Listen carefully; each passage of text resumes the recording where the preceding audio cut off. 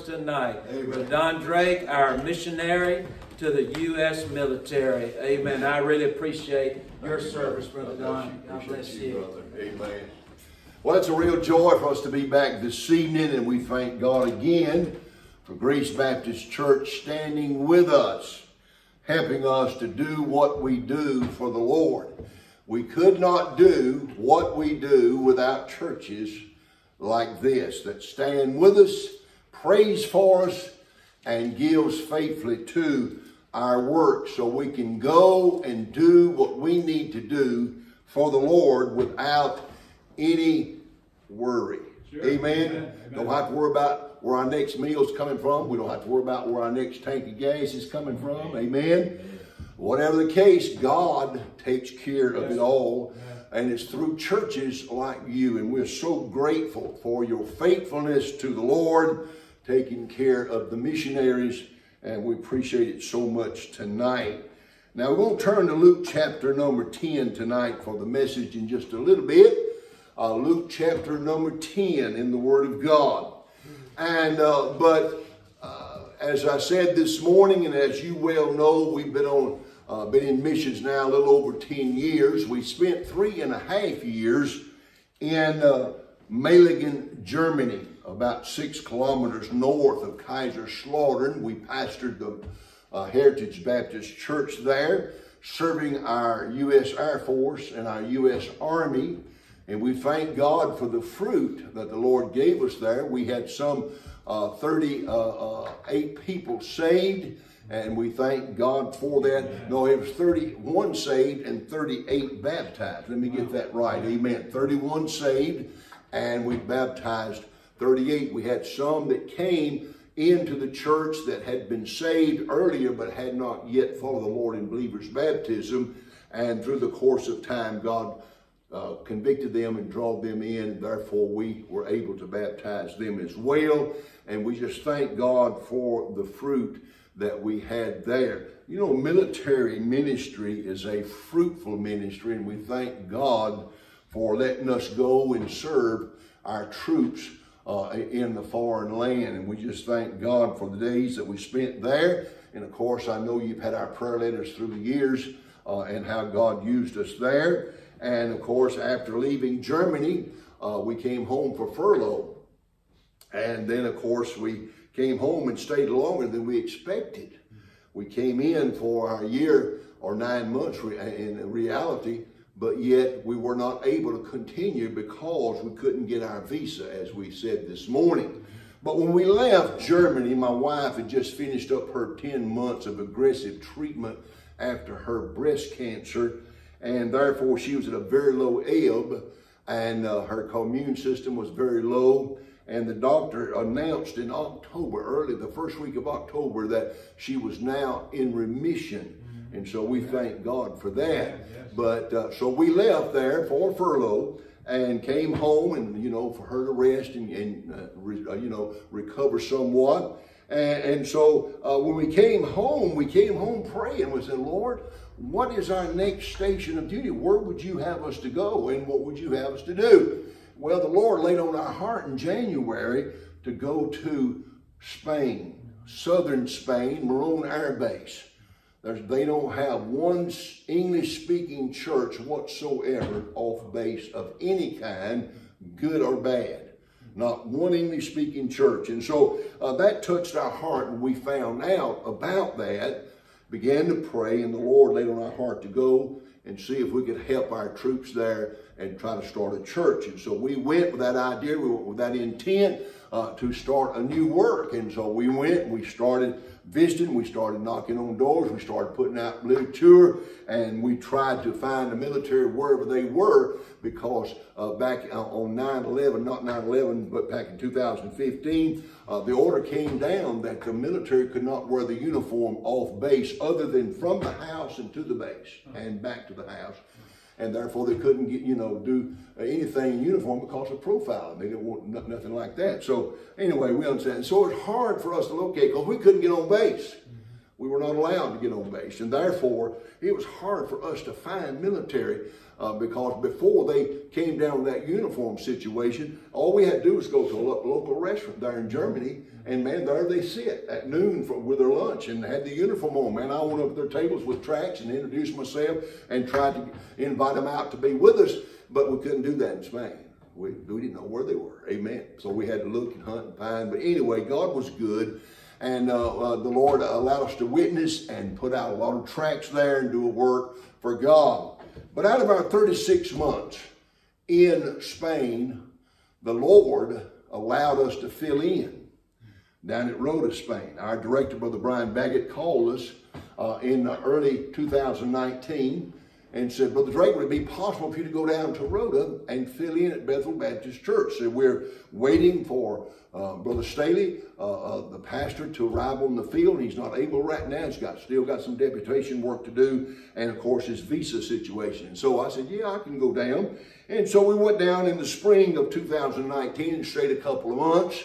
We commuted back and forth about 70 miles from uh, where we were, about 20 minutes south of Sevilla down to uh, Rota uh, there on the coast. And so we were there with him for two months at that particular time. And Brother John Hornbeck came down from Italy and filled in from June of 2019 until the end of uh, December. Gave six months there uh, filling in. And of course, around November, uh, Brother Baggett called me again. Said, Brother Drake, could you go back to Rota? Said, Brother Staley's not able to come yet. I said, yes, sir, we can go back down and, and, and help them. And so we did. We went back uh, the first, uh, I think it was January 2nd, I believe. It was the first Thursday night of, of 2021.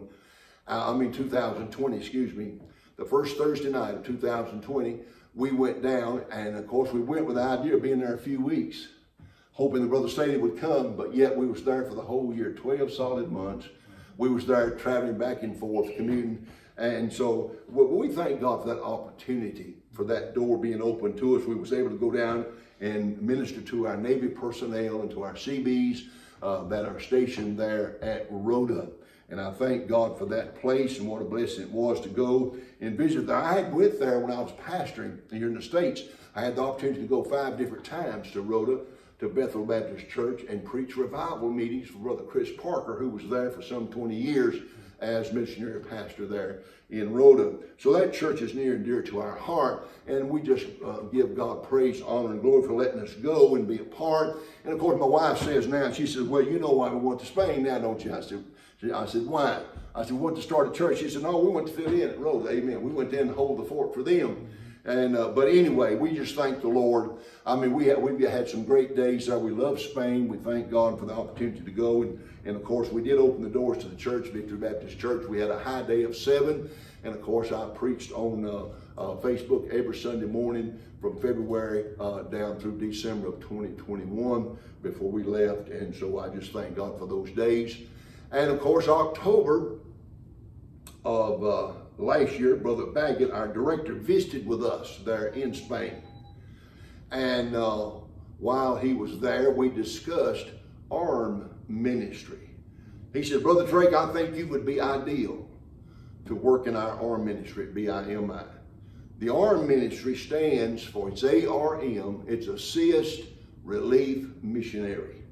And beloved, uh, we talked it over and, and of course he said, now brother, he said, Uh, everything's approved already. We've already talked to the board for about you already and said when you get home, and that was October, we were planning on leave for, leaving for furlough in December. And he said, well, when you get home, he said, sometimes next spring, early summer, if uh, you know, whenever you want to, just write me a letter to the effect of making a transition over to arm ministry. And so that's what we did. And uh, we went to uh, BIMI back in August, August the 16th of this uh, this year, and met with the personnel board uh, there, and they approved us for our ministry, and we're making that full-time transition from military, even though we'll remain in military ministry, and Brother Baggett will remain our military director, but we're transitioning full-time from military ministries to full-time arm ministries. And beloved, that means that we will be going anywhere in the world uh, up to three months at a time uh, filling in at some place for a missionary who needs to come in for a short furlough, maybe for medical reasons, family situations, whatever it might be. We've got missionaries on the field tonight that need to come in for a short period, but cannot because they don't have someone to take their place, someone to stand in their place and hold the fort while they're gone. You cannot leave a mission work, or as far as that goes, any work, without someone there to stand up and take leadership. And so that's what we'll be doing, and we covet your prayers that God would use us in this new work for his honor and glory. And of course, we've been at this a long time as far as ministry, and of course, it won't be anything new to us, but yet we know it's a great need.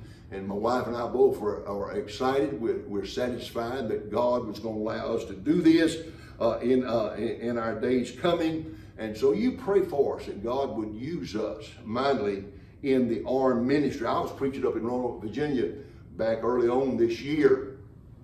And uh, Brother Paul Mara is the pastor there. And I was telling him what we was doing. He said, Brother Drake, I just got a call from one of our missionaries this past week. And they need to come home, but they can't. They don't have someone like you to come and stand in their place. He said, brother, it's, hey, he said, I'm, I'm excited about your new work. I tell you, we're going to continue with you and stay with you. And I said, I appreciate that. He said, because myself, being a former missionary, I know the need uh, that it is for someone to come and fill in and help you on the mission field. So we, that's our new work in the future, and we thank God for it. And all the churches thus far that we have shared our new ministry and, new heart, and our heart with, uh, they've all been positive. We have not had one negative word uh, concerning this new uh, this switch in ministry. And uh, and of course, as I said, we'll remain in military missions. We'll go and relieve our military missionaries, but also we'll go and relieve missionaries in, in English speaking works anywhere in the world up to three months because we don't have to get a visa to go in. So we can go and stand in and then come out without any problem. So we're looking forward to this. And you just pray that God would have his will in our hearts and lives. Amen? Amen. But God is good. And I thank God again for our military work and for the ministry of uh, military uh, missions. And we thank God for letting us serve for these 10 years in that particular ministry. And we'll continue to go and recruit and invite folks. I'm always putting the word out, hey, we need military missionaries. We have some 80 missionaries, uh, military missionaries at BIMI where we serve. And, and, and of course, we count husband and wife. Amen. And of course, that means we've got about 40 couples, probably more like 45, 46 couples now. But we need help because over 50% of us are gray-headed. Amen. And we need some new blood. We need some young people to come in. And we are having some, and we thank God for that. But you just pray the Lord's will be done. We went into military missions at the age of 62. Amen. And we thank God for letting us go. Amen. And we're excited about this new work in our ministry. Pray for us if you would, and just keep praying for us. Amen. And we thank God for you and what you do here at Grace Baptist Church. All right, we're going to take our Bibles and look tonight in Luke chapter number 10. Now, this is a very, very familiar portions of Scripture before us tonight.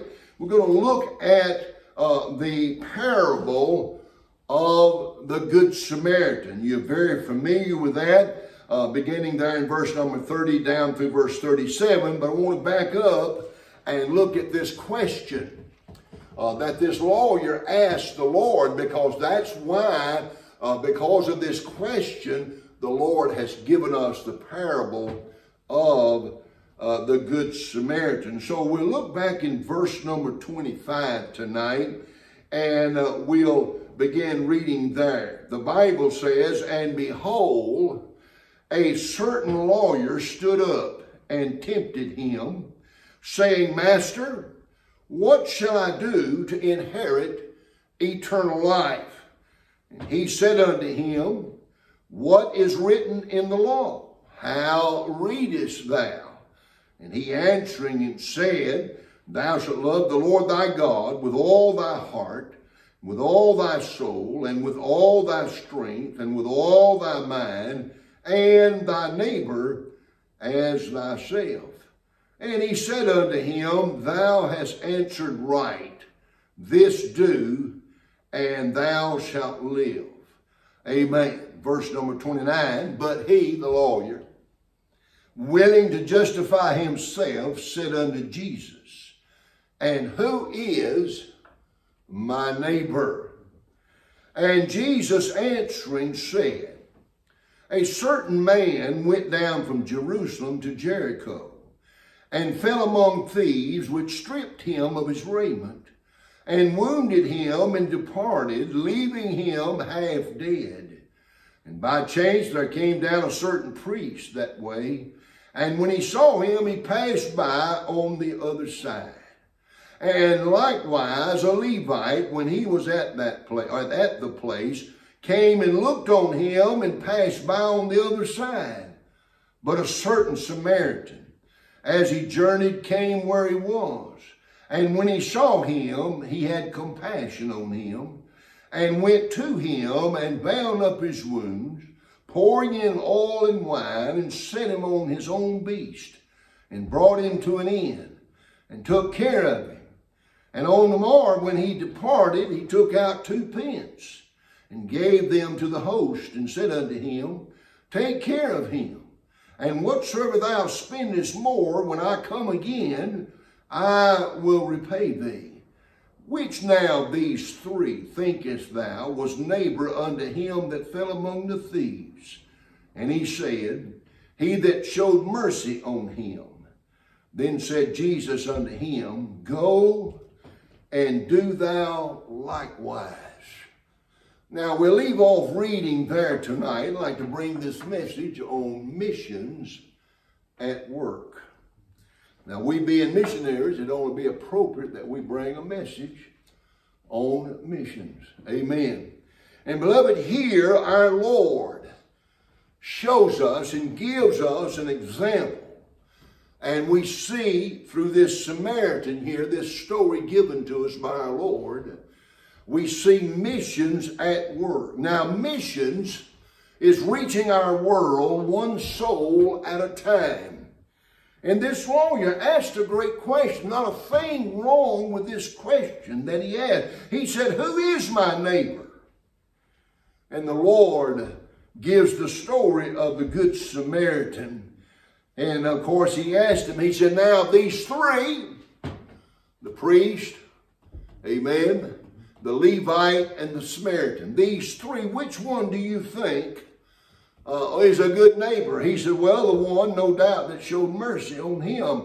And the Lord said, that's right. Go and do thou likewise. Now, beloved, what is our responsibility this evening to those who live in our neighborhood?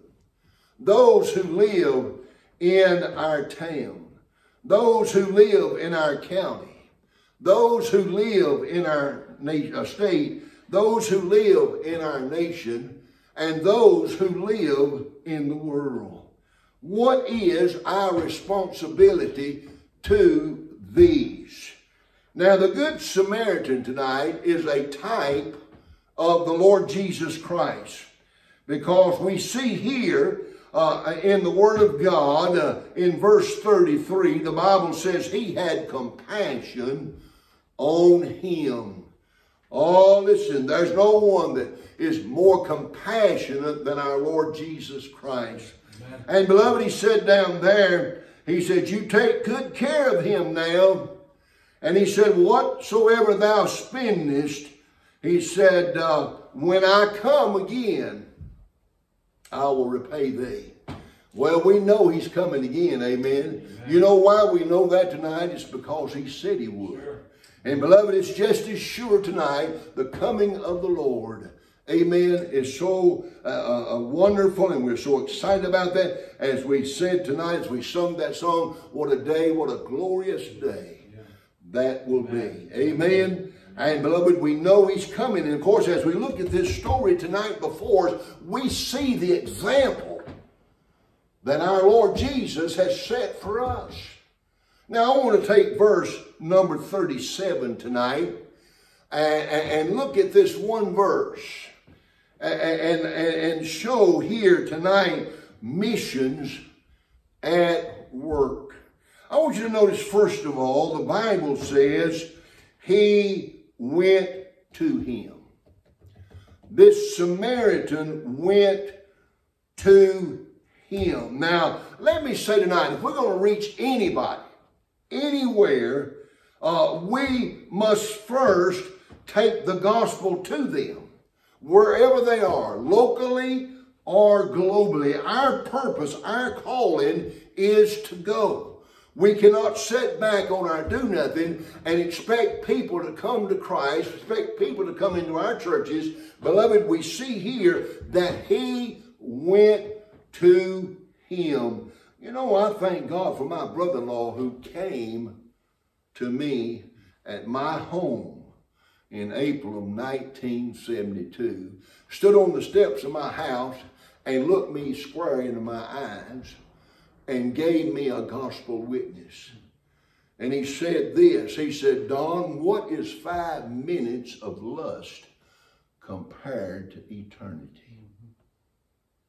Now, he couldn't have said anything else that would have stuck me any deeper than what he said. And beloved, that afternoon, after he left, it was on Sunday afternoon, I went back in the house. I told my wife, I said, we're going to church tonight. She said, what? See, that's something we didn't do. And something we hadn't done. We'd only been to church one time. And that was the night we got married. Together. That's the first and last time we've been together uh, to church together.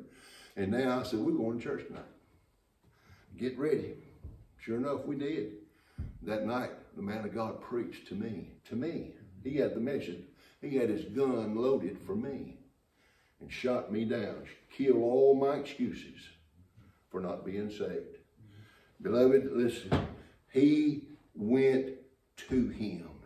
And beloved, he went to where he was. Thank God Jesus comes to where we are.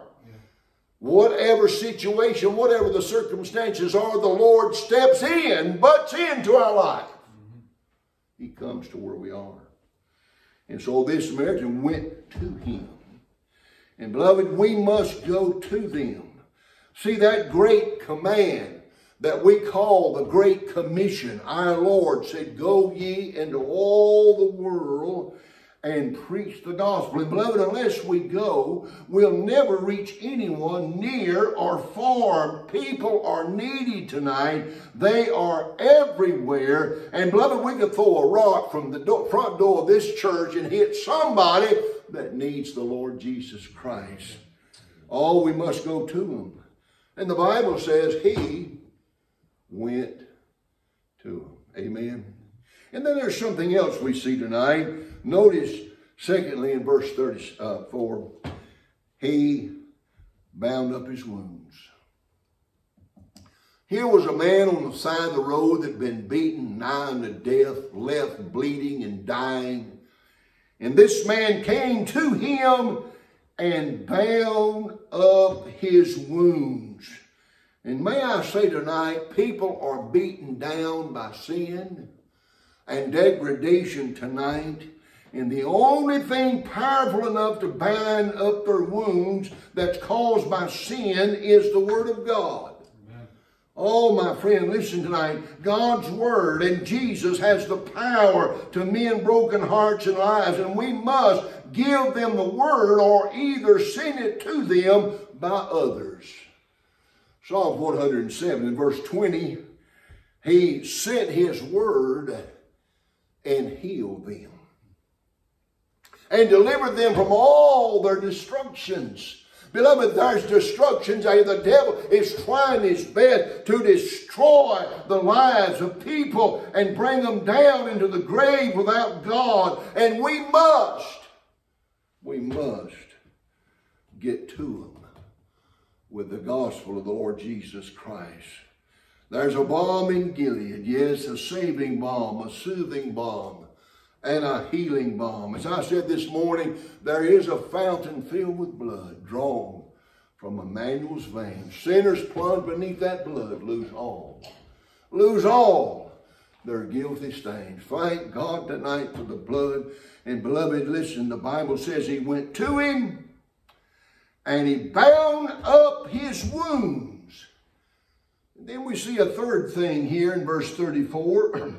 he bound up his wounds, pouring in oil and wine. Now, oil is a symbol of the Holy Spirit in the Word of God. And wine heals by purifying. And the pouring of wine represents the salvation of the individual, and oil being mixed shows the ministry of the Holy Spirit in a person's life. We lead them to Christ, and He saves them, and it ministers the Word so the Spirit can work in their lives. Our Lord, before He left there in John chapter 14 and John chapter 16, He told His disciples, I'm leaving but I'm not going to leave you comfortless. I'm going to send you the Comforter, which is the Holy Spirit. And beloved, the Comforter of God, the Holy Ghost of God lives in the heart of every born again child of God. He's our comforter, He's our teacher, He's our guide. And beloved, we're sealed by Him unto the day of redemption. Thank God he poured in oil and wine in unto our hearts. Thank God tonight. And beloved, we see another thing there. Uh, not only did he pour in a wine, I mean oil and wine, uh, but also he set him on his own beast. Set him on his own beast. Now, you know, it's not enough for us to lead someone to Christ, but we must physically help them. They are weak, they're vulnerable, and they need to grow and mature in the things of, of the Lord. And if you'll take your Bibles and turn back to Matthew chapter 28 for just a moment, Matthew chapter 28, we see the Great Commission, the Great Command given here. And also we see it in all four Gospels, and then we see it in Acts chapter 1 and verse number 8. But I want to draw your attention here to chapter 28 of the book of Matthew because here is something that I believe that we are missing today in our churches. Now, I admit, I admit, I've pastored now for some 40 years, and uh, in, in, here in the States and military work and so forth, uh, uh, but yet this thing of discipleship, Lord really got a hold of my heart a few years back and said, hey, son, you're missing it. You're winning people to Christ. You're, you're preaching the gospel and people are coming to Jesus, but yet we're not teaching them. We're not grounding them in the Word of God, and therefore they're not remaining. And so I think this is something that many churches need to pick up on. Notice there in verse 19, he said, Go ye therefore and teach all nations, baptize them in the name of the Father, the Son, and the Holy Ghost. Now he got evangelism there and baptism, but also here's discipleship, teaching them to observe all things whatsoever I've commanded you. And lo, I am with you always, even unto the end of the world. Now, I know many, they depend on the pastor to spoon feed them the Word of God. But, beloved, it shouldn't be that way. I mean, the pastor's responsibility is to teach and train uh, disciples. And, and, beloved, tonight we see here uh, that this happened here. He set him on his own beast. Beloved, we need to teach and we need to train new converts. Uh, we need to teach them how to study the Word of God. We need to teach them how to pray. That's what the Lord did to his disciples. They said, Lord, teach us to pray. And he said, when thou prayest, amen. And he gives uh, his prayer there in Matthew chapter 6. But now his priestly, priestly prayer is there in chapter number 17 of the book of John. But beloved, listen, we need to teach them how to live for Christ. We need to teach them how to win souls. Charles Haddon Spurgeon said this. He said to be a soul winner is the happiest thing in all the world. There's not a thrill anywhere that, uh, that amounts to that thrill when you reach out to an old sinner as they pray and give their heart and life to Jesus Christ. A, a new creature is born into the family of God. I tell you, it's precious and we thank God for it. But he set him on his own beast. He didn't leave him there by the roadside. He helped him. But notice something else. He put him on his own beast there and brought him to the inn. Brought him to a safe place. Brought him to the safe house. And may I say this evening that the local church is like a hospital caring for the wounded and the dying uh, that's been caused by sin. The church of the living God helps people grow spiritually, and many have been helped and healed from life's beatings by the church, not only locally, but worldwide. And I thank God for the church. Because the church will care for you. The church will love on you. The church will encourage you. The church will strengthen you. And the church will pray for you. And the church will help you, thank God. Oh, I praise God for the church. And in the church, we can get help in time of need. We, in the church, we receive hope. Mm-hmm. In the church, thank God, we receive healing from the causes of sin. And praise God, every now and then we get a little heaven in church. Praise the Lord. Hallelujah. We get in a happy service sometime. Hallelujah. And we thank God for those times. But oh, listen, he brought him to the end. A safe house, a safe place. And that's where we need to bring them. We need to encourage them and bring them to church. Let them come to the house of God. Get under the sound of the gospel. Be uh, helped in the word of God. Trained up in the things of God. Oh, listen, here's missions at work right here in this story tonight. And then there's a last thing I want to share with you here. Notice there in verse 34 again, he brought him to an inn and took care of him. He took care of him. Brought him to the innkeeper, introduced him, and said, Take care of him. And here is some money.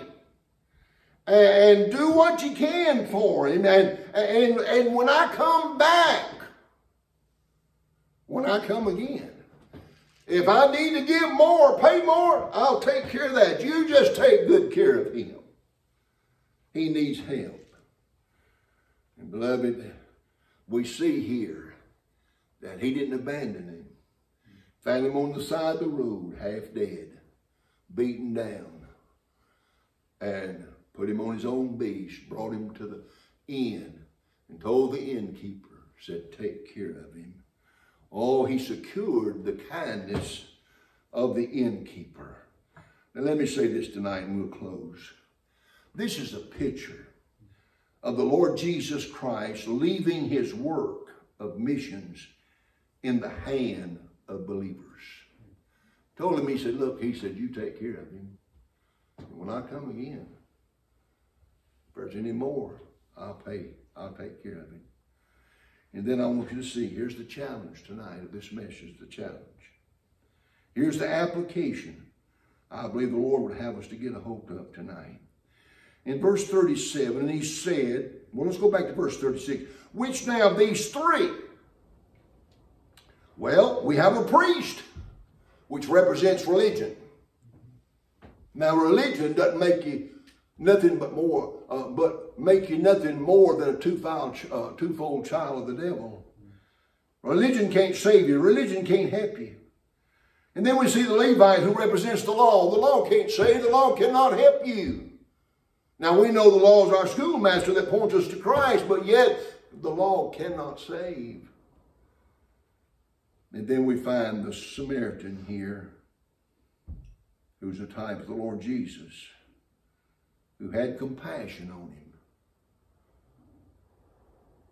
and helped him, took care of him, brought him to the inn and said, take care of him when I come again. Thank God he's coming again, amen. Even so come, Lord Jesus.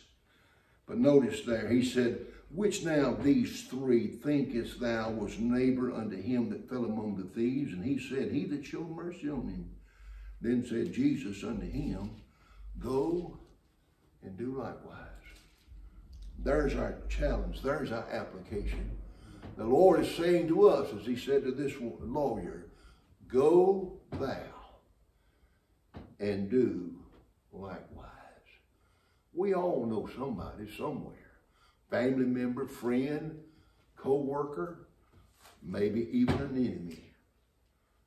But we know somebody that needs the Lord. Somebody needs somebody to go and show mercy and invite them to the Lord Jesus Christ. Let's bow together. Pastor, you come tonight and give the invitation as the Lord leads you. Our Father in heaven, we bow now before you to thank you for the good day you've given us in the house of God with these dear people. We pray your blessings upon each and every one. Supply, bless, have your will and way tonight in our hearts and lives. We thank you for the Lord Jesus who gave himself for us. The Bible says he loved us and gave himself for us. And Lord, we're so grateful tonight for eternal life in him. Now, Father, help us to go forth from this night and show mercy and do likewise, as the Bible says here tonight. And we'll thank you for it in Jesus' name. Amen. Thank you so much. Amen. Let's go ahead and stand together and our heads bowed, our eyes closed for prayer. We're going to have a song here in just in just a moment. And uh, but as we do, what a wonderful message and what a great challenge. And really, that is what missions is about. Go and do thou likewise. Another place, Jesus said, "As the Father hath sent me, even so send I you." And that is for uh, all of us tonight. And then this aspect as well. And uh, and you've probably heard it before also, uh, as we're giving the Great Commission, uh, that it applies to uh, not only just to, to go, but it's as you're going. We're living in a, in a time when everybody is on the go. Everybody is busy. All of us throughout the week, we've gone somewhere. Uh, we're going to a workplace. We're going to perhaps to school. We're going to Walmart. Uh, probably all of us in, in, in the building tonight. Uh, we'll be going to Walmart at least a couple of times in the next uh, few weeks. I'm, I mean, my goodness, some folks are going at least one or two days every week. But we're going somewhere. We're all go, we're all out there, all going somewhere. And so, as we're going, also, we're to watch for that one that's in that ditch. We're to look for that one that's along the side of the road and, uh, and, and, needs, and needs the Lord. And so with God's help, we'll go and do uh, likewise. Amen. Well, let's pray together. Lord, we thank you so much for the message tonight. Lord, we thank you for the time that you've given us together. Lord, we thank you for the challenge. We thank you for the encouragement. Uh, Lord, there are people all around us that are lying in ditches, yeah. all around us in, in, the, in this life. Uh, they're, they're separated from God. Uh, they need that uh, help. Mm. They need that oil. They need that wine. They need that binding of their wounds. Yes. Lord, they need that binding of their hearts because their hearts need to be brought to you. Lord, help us as we as we're challenged tonight to as we go and to actually go and to do likewise and bring others to you, Lord. For you alone are the one that can heal the broken heart and you're the only one that can save the lost soul. And Lord, it's our responsibility to point them to you. As John the Baptist would say of old, Behold the Lamb of God, which taketh away the sins of the world. Lord, it's our responsibility in this generation, this hour, oh, to point others to the Lord Jesus Christ. And so, Lord, we pray that you'd help us to do that. Lord, would give you the glory. And we'll thank you for what you do. In Jesus' name, we do humbly pray. Amen. Amen. Amen. Let's sing the song together. The altar's open. Brother Tim, if you come and lead us while we sing. Page 325.